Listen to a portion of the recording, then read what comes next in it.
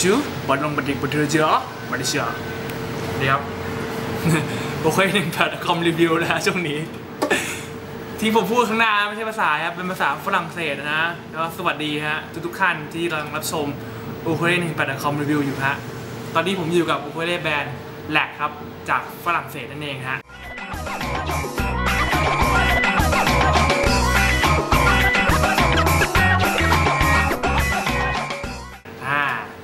นี้ครับในชุดนะฮะจะประกอบไปด้วยครับ1ครับตัวอูคูเลเล่ครับไซส์ขนาด soprano นะครับ2ครับกระเป๋าจาก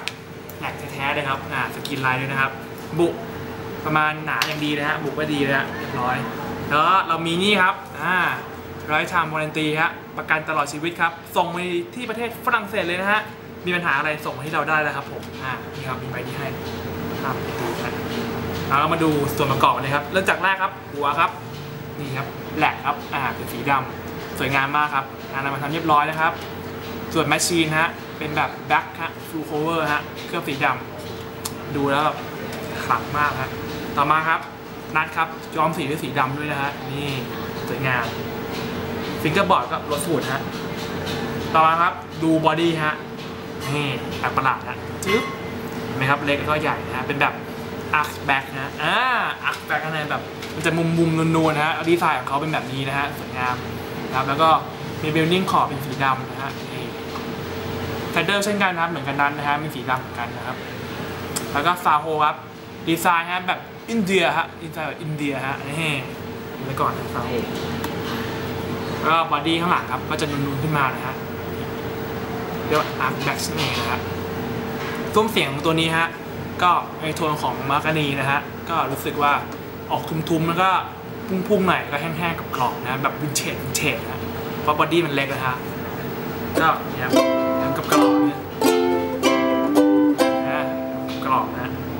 ตัวนี้ touching ออกมาทำมาได้ดีนะฮะความสูงไม่ค่อยมากกำลังดีครับ เรามาชมกันแบบ strumming ฮะ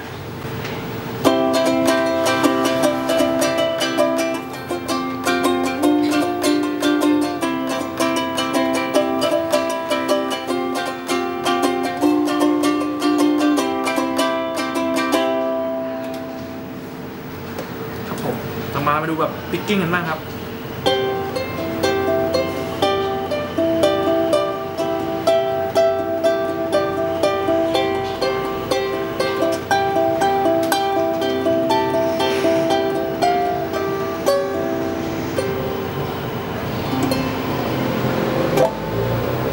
ครับผมก็ลองสรุปนะลองไปเลือกดูครับสำหรับ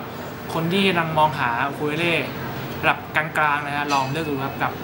ก็เลยเบนแหลกฮะจากประเทศฝรั่งเศสฮะอาคุงกูฟัวสวัสดีและลาก่อนครับผมสวัสดีครับ